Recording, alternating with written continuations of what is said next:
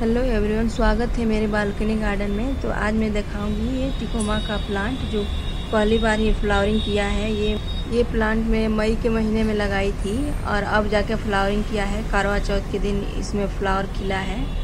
तो ये मेरे लिए गिफ्ट से कम नहीं है। जब मैं सुबह उठ के आई तो इसका फूल खिला हुआ था और देख के मुझे बहुत अच्छा लगा।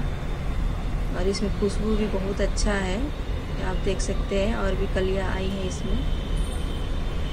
और ये बेलनुमा प्लांट है, थोड़ा बेल भी बन रहा है इसमें। इसको मैंने रस्सी में बाँध दिया है। ताकि इधर उधर ना झुके। मेरी बालकनी छोटी सी है, इसमें बहुत सारे हमने फूलों के पौधे लगा रखे हैं। जो सब में फ्लावरिंग थोड़ा थोड़ा होता ही रहता है। इसको सपोर्ट देना ज़रूरी है, बहुत तेज़ी से बढ़ रहा था ये टिकोमा का पौधा बड़ा हो गया है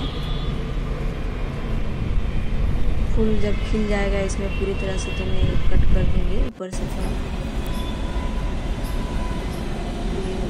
विन का देसी वाला है, इसमें तो कम फ्लावरिंग हुआ है आज।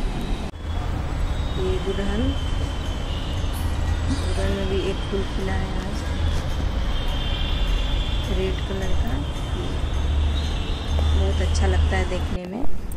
ये पिंक वाला, इसमें भी एक फ्लावर खिला है।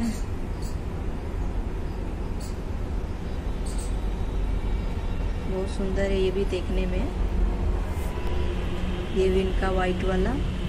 और हाँ मेरा वीडियो अच्छा लगता हो तो प्लीज़ मेरे चैनल को सब्सक्राइब कर लीजिए। मेरा वीडियो ऐसे ही लोग देखते हैं। सेवेंटी परसेंट तक लोग सब्सक्राइब ही नहीं किए हैं। ऐसे ही वीडियो देखते हैं तो प्लीज़ ऐसे ना करें। थोड़ा सा थोड़ा सा मेरा हेल्प करिए और प्लीज़ से सब्सक्राइब कर लीजिए मेरे चैनल को।